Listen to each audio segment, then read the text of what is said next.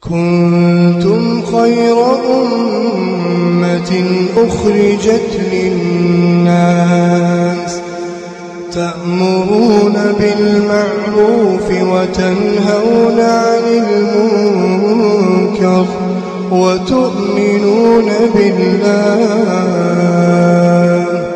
ولو آمن أهل الكتاب لكان خيرا لكان خيرا لهم منهم المؤمنون وأكثرهم الفاسقون بسم الله الرحمن الرحيم الحمد لله رب العالمين والصلاة والسلام على أشرف الأنبياء والمرسلين نبينا محمد وعلى آله وصحبه أجمعين সম্মানিত মুসলিম সমাজ। আসসালামু আলাইকুম ও রহমতুল্লাহি প্রকৃত ইসলাম ধর্ম হচ্ছে একত্ববাদের ধর্ম। তৌহিদের ধর্ম। এতে কোনো কোনো প্রকারের শির্ক আল্লাহ তাআলার সঙ্গে অংশীদার, স্থাপন গ্রহণযোগ্য নয়। সুতরাং প্রকৃত ইসলাম ধর্ম, একত্ববাদের ধর্ম, তৌহিদের ধর্ম, এই তৌহিদকে আমরা অন্তরে সঠিক পন্থায় স্থাপিত করব। তবেই আমরা প্রকৃতপক্ষে মুসলিম হিসাবে মুসলিম হিসাবে আল্লাহ তাআলার কাছে পরিগণিত হব। সম্মানিত মুসলিম সমাজ। তৌহিদ হচ্ছে এমনই একটি বিষয় যার দ্বারা তৌহিদ হচ্ছে এমনই একটি বিষয় যার দ্বারা সমস্ত প্রকারের সেরেকি কর্ম, কুফরি কর্ম বর্জন করা হয়।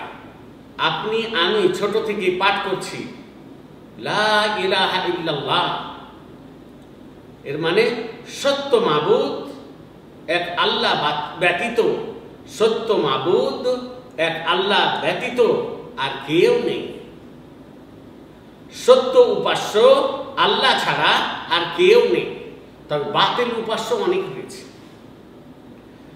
কেউ বটবৃক্ষকে উপাস্য বা মাবুদ বানিয়ে রেখেছে, কেউ চন্দ্র সূর্যকে, কেউ মূর্তিকে কেউ নদ নদীকে মাবুদ বা উপাস্য বানিয়ে রেখেছে। এগুলো হচ্ছে বাতিল উপাস্য। কেন?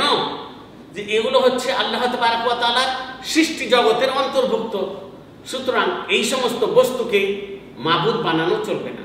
অনুরূপভাবে কোনো নবী, কোনো ফেরিস্তা কোনো রাসূলকে, কোনো ওয়ালি আউলিয়াকেও মাবুদের স্থানে রাখা যাবে না। আজকাল কতগুলি মুসলমান ভাইদের মধ্যে দেখা যায়, মনে করে যে আল্লাহ তালা তার জন্য যথেষ্ট নয়। সুতরাং আল্লাহর সৃষ্টির জন্য সে রুকু সিজদা করবে। অলি আউলিয়া পীর পৈগম্বরের নামে সে সাজদা করবে, পশু জবাই করবে, মনের আশা, আকাঙ্ক্ষা পূরণ করার জন্য দোয়া করবে। এগুলো হচ্ছে সমস্ত কর্ম তৌহিদ পরিপন্থী কর্ম।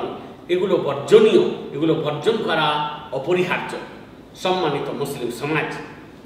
তো তৌহিদ কাকে বলা হয়? তৌহিদ বলা হয় প্রকৃতপক্ষে বিশ্বাস স্থাপন করাকে। কি বিশ্বাস? এই বলে বিশ্বাস স্থাপন করা যে মহান করুণাময় আল্লাহ তালা তার সত্তার দিক দিয়ে আপন সত্তার দিক দিয়ে, অস্তিত্বের দিক দিয়ে এবং কর্মের দিক দিয়ে উপাসনার ক্ষেত্রে এবং নাম গুণাবলীর দিক দিয়ে তিনি এক ও অদ্বিতীয় তার কোনো অংশীদার নেই। তবে আল্লাহ তালার উপাসনাতে কতকগুলি মানুষ অংশীদার নিজে থেকে বানিয়ে নিয়েছে। এটা হচ্ছে বর্জনীয়। আল্লাহ তালা বলেছেন ওয়াবদুল্লাহ ওলা তুশ্রিকু বিহি সেইয়া আল্লাহ ইবাদত করবে আর আল্লাহর সঙ্গে কোনো বস্তুকে অংশীদার বানাবে না। সুতরাং আমরা যদি দুনিয়া এবং আখেরাতে পরিত্রাণ চাই, তাহলে একত্ববাদকে বজায় রাখব, একত্ববাদের ওপরই অটল থাকব। এটাই হচ্ছে প্রত্যেক ব্যক্তির ইমানি কর্তব্য। আসসালামু আলাইকুম ওরহমতুল্লাহি ওবরাকাত